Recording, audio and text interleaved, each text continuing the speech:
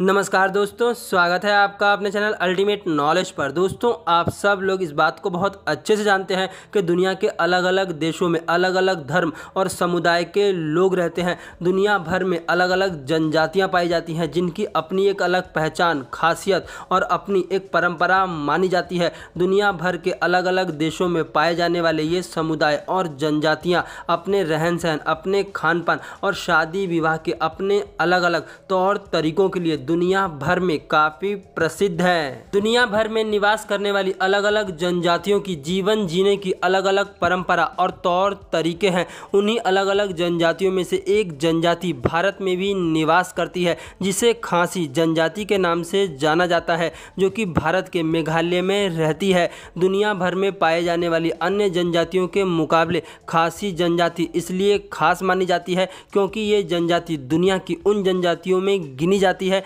जहाँ पर पुरुषों की जगह महिलाएँ प्रधान यानी के प्रमुख होती हैं। इस बात को तो आप सब लोग बहुत अच्छे से जानते ही होंगे कि दुनिया भर में मुख्य तौर पर पुरुष प्रधान समाज है, यानी कि उस समाज में पुरुषों का वर्चस्व है, लेकिन मेघालय में निवास करने वाली इस खांसी जनजाति के अंदर सिर्फ़ और सिर्फ़ महिलाओं का वर्चस्व माना जाता है। इस समुदाय में जब भी किसी के घर लड़की पैदा होती है तो उस लड़की के घर वाले काफ़ी खुश होते हैं और लड़की के जन्म होने पर यहाँ पर खुशियाँ मनाई जाती है।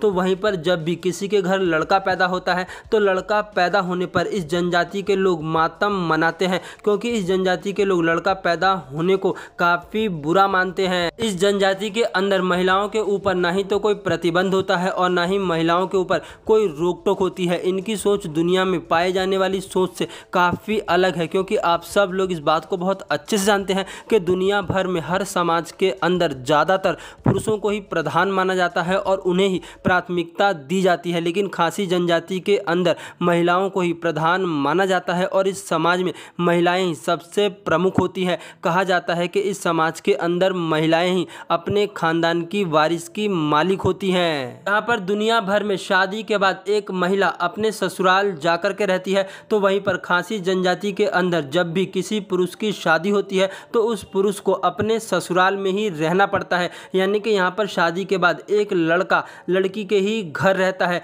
हालाँकि अभी कुछ सालों में यहाँ के पुरुषों ने इसके खिलाफ आवाज़ उठाई है और इस बात को कहा है कि वो महिलाओं का अपमान नहीं करना चाहते। वो बस सिर्फ़ और सिर्फ़ बराबरी का हक चाहते हैं। इस समाज की महिलाएँ अपनी लाइफ में कई पुरुषों से शादी करने के लिए भी पूरी तरह से आज़ाद होती हैं। इस समाज में सारे फैसले सिर्फ़ और सिर्फ़ महिला के द्वारा ही लिए जाते हैं। यहाँ पर बच्चों का सरनेम भी माँ के सरनेम पर ही रखा जाता है। यहाँ के बाज़ार और दुकानों पर भी सिर्फ़ और सिर्फ़ महिलाओं का अधिकार होता है और वही यहाँ पर बाज़ार और दुकानों को नियंत्रित करती हैं। इस जनजाति में सबसे छोटी बेटी को जायदाद का सबसे ज़्यादा हिस्सा दिया जाता है। इस समुदाय की लड़कियाँ बचपन से जानवरों के अंगों से खेलती है, जिनके बाद में वो आभूषण बना करके पहनती है। इस समुदाय की एक सबसे अजीबोगरीब और विचित्र बात ये भी है कि यहाँ पर महिलाओं यानी कि लड़कियों के पहले पीरियड्स पर जश्न मनाया जाता है। इस बात को आप सब लोग भी बहुत अच्छे से जानते हैं कि आज भी दुनिया भर में बहुत सी ऐसी सभ्यताएँ और मान्यताएँ मौजूद हैं,